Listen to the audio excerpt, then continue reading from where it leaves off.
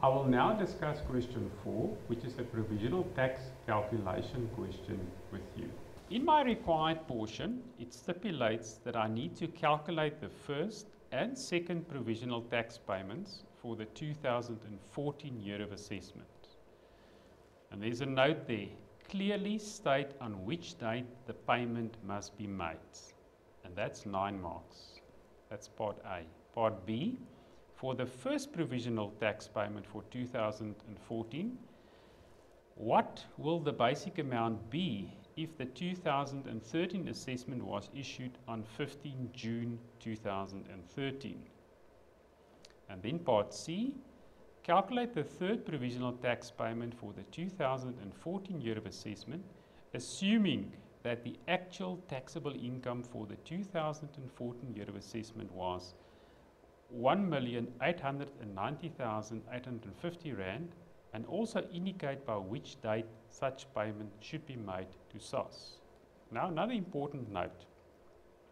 Ignore the Tax Administration Act that came into effect on 1st of October 2012. The important thing that we have to do before we start answering the question is to identify our taxpayer and its year of assessment. In the question, I have highlighted key information for you already with a highlighter in yellow.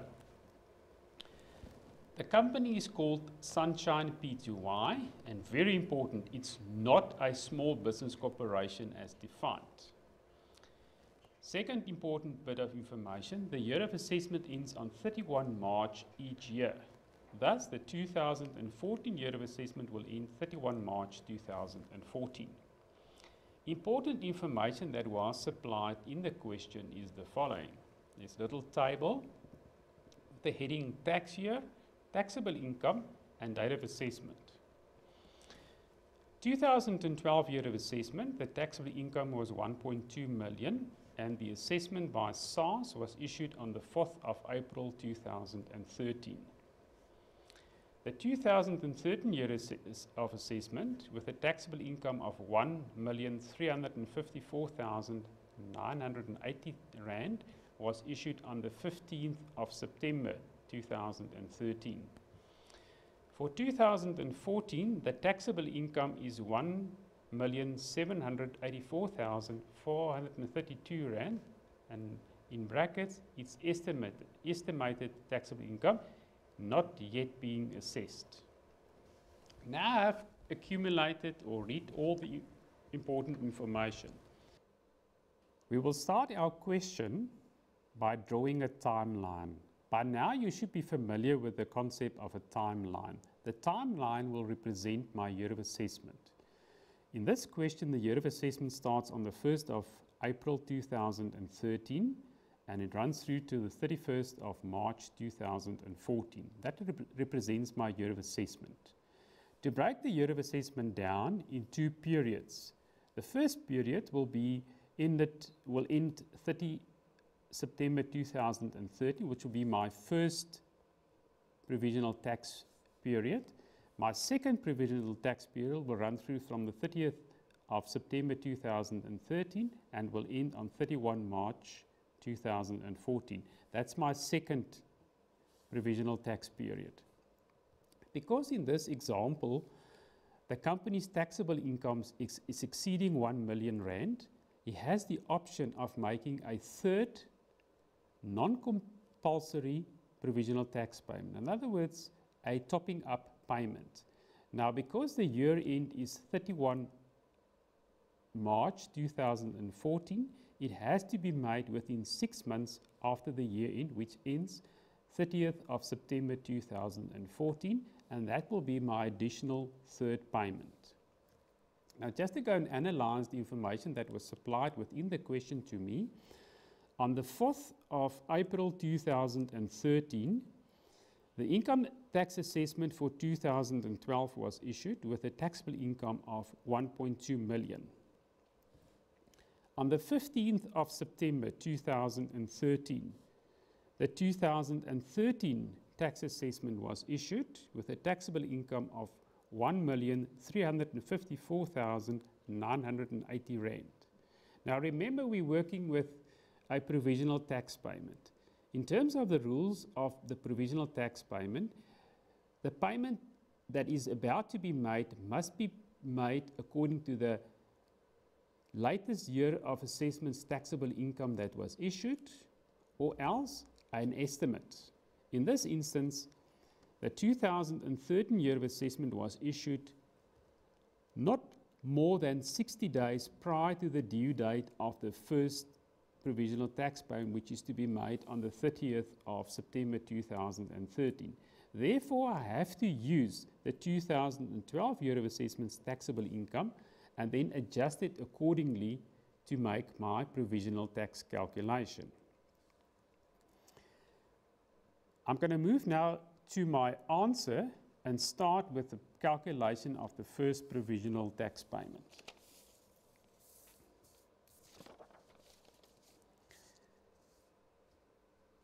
Now the question stipulates that you need to calculate the first provisional tax payment and also indicate on which date it will have to be made. So I will start to write there. First provisional tax payment and it has to be made by the 30th of September 2013. Now remember we said that we're going to use the 2012 as our basic amount. So we write there basic amount and I'll put it in my column as 1.2 million rand. I have to use the 2012 because that's the latest year of assessment not older than 60 days. I can't use 2013, but I have to make an adjustment to align it for my 2014 year of assessment. And I have to increase my basic amount by 8% for each year of assessment in question. In this instance, 2013 plus 2014 because I'm busy with my 2014 year of assessment. Therefore, my calculation will be 1.2 million times 8% times 2 for the two years after my 2012 year of assessment, and that amounts to 192,000 Rand. So my taxable income that I will use to calculate my first provisional tax payment will be based on 1,392,000 Rand. Therefore, the tax on 1392 at 28%, remember the company is not a small business corporation, equals 389760 and my first payment will be 50% of my calculated tax of 389760 and that will be 194880. So there's my first provisional tax payment. Part B of the first question is I also need to calculate the second provisional tax payment and that is due on the year of assessment that ends 31 March 2014. So 31 March 2014. Now let's get back to our timeline first. On our timeline, we're there the 31st of March 2014, which is the due date. Now, the important thing to note here, the taxable income for this entity is exceeding 1 million rand. And because it exceeds 1 million rand, the taxpayer can either use the estimate taxable income for 2014 or you can use 80% of the estimate. Therefore, the estimate was provided to us in our question. Let's just put the question back again. The estimate taxable income is 1.784 432 Rand. And that's the figure that I will use in my answer. Therefore, my second provisional tax payment, I will write there taxable income is exceeding 1 million and therefore I will use my estimated taxable income for 2014 and that is 1784432. The alternative would be to say 80% of my estimated taxable income of 1784432 and that will be 1427546. However, I'm going to use my estimate figure. So the tax on 1784432 at 28%, tax rate for a company is 499641. That's the tax for the full year. I now have to deduct my first provisional tax payment that I've calculated above, which is 194880. Just to show you where I got it from, I will indicate it here in my calculation. And the balance that remains is 304761 and that will be my second provisional tax payment for 2014. Now I've addressed both sections of Part I have calculated my first provisional tax payment and my second provisional tax payment. So let's just put the solution aside. I'll get back to my required portion again. Part B. In Part B, it stipulates for the first provisional tax payment for 2014 what will be the basic amount if the 2013 assessment was issued on 15 June 2013. Now remember, when you are dealing with provisional tax payment, you're always working with the latest assessment that's available, provided it's not older than 60 days. If one looks at the timeline, and I've drawn a timeline for my part B of the question just to illustrate the principle there. Again, my year of assessment starts on the 1st of April 2013. It ends on 31 March 2014. My first payment was due on 30th of September 2013. In Part B, it stipulates that the 2013 year of assessment was issued on the 15th of June 2013. On my timeline, that's well more than 60 days before the due date. Therefore, I have to use the 2013 year of assessment as my basic amount for the calculation of my first provisional payment based upon the new taxable income for 2013. Therefore, my answer, part B, I will write there as it is more than 60 days old, the 2013 taxable income can be used as the basic amount and no adjustment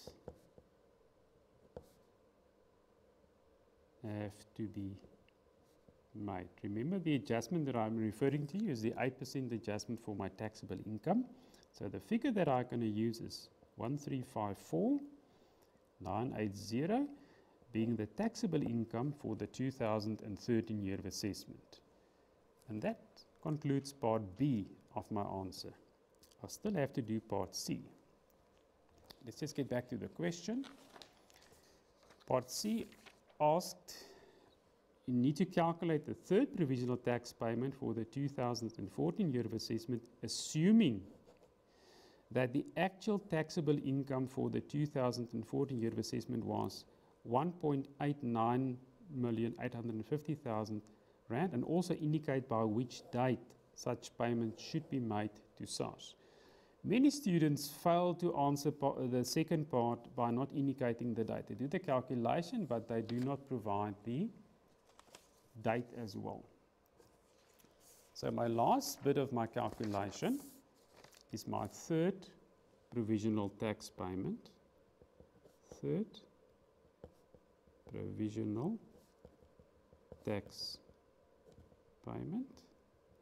Maybe I should just get back to my original timeline and just show you where does that fit in on my timeline. I jump around a little bit.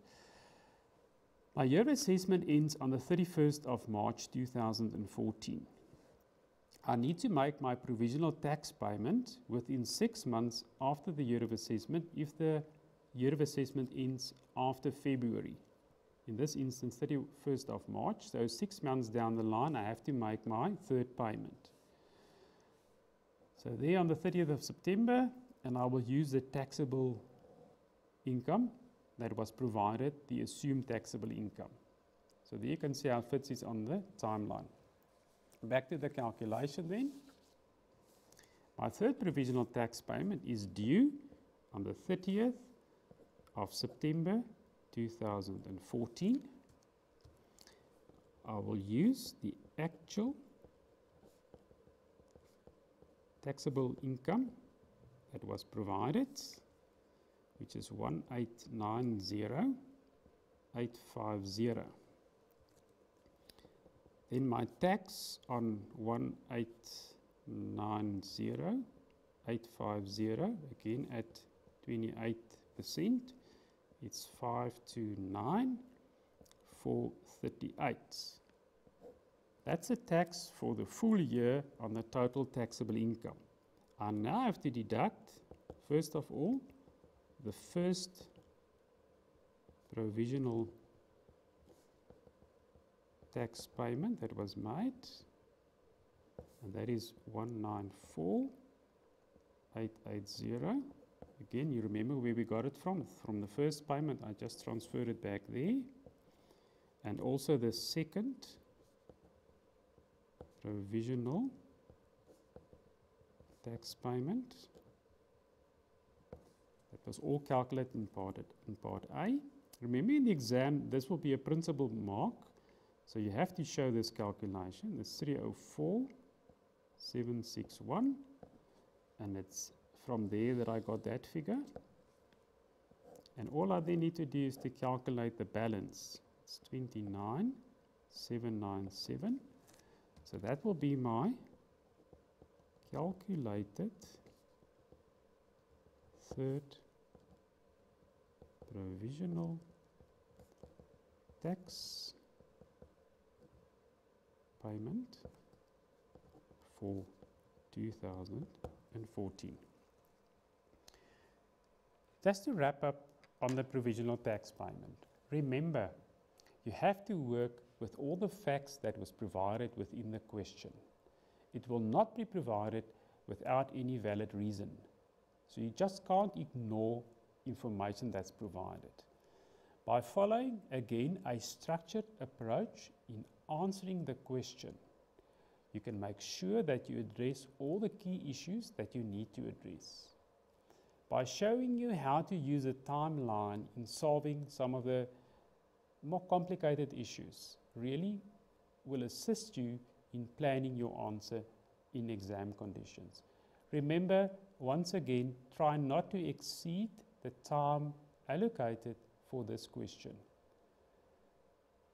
Thank you for watching this DVD and we trust that this will really assist you in preparation towards your exam.